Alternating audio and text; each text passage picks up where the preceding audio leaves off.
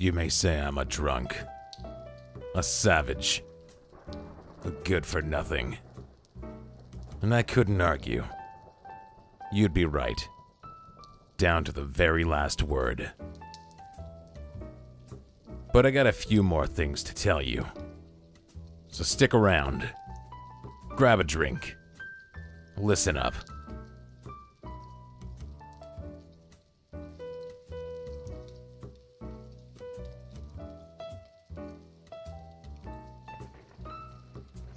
Spending most of my time with a bottle, I've come to know the bottom of everyone.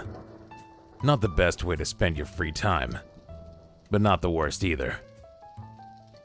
Life is just a ride, and it's a good ride as long as I'm driving.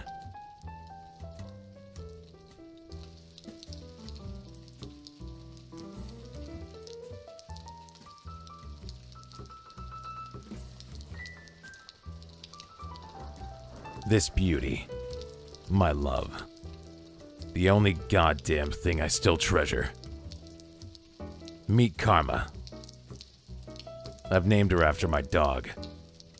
No romantic story there. She died after I got drunk for two weeks and forgot to feed her. The dog, I mean.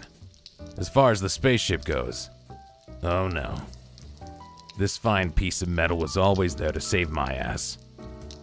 Maybe a bit rusty, but still a good looking lady.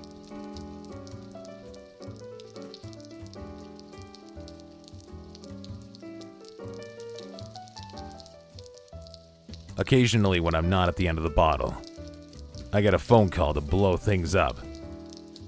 They say it's the only thing I'm good at. And who am I to argue? Not that I particularly care as long as I get paid and blow a few rocks along the way.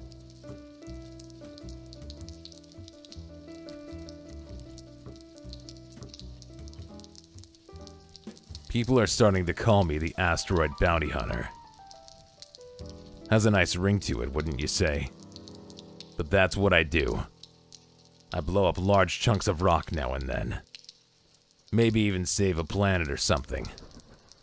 It's a strange feeling facing death on a regular basis. But then again, what can go wrong when I'm driving, right?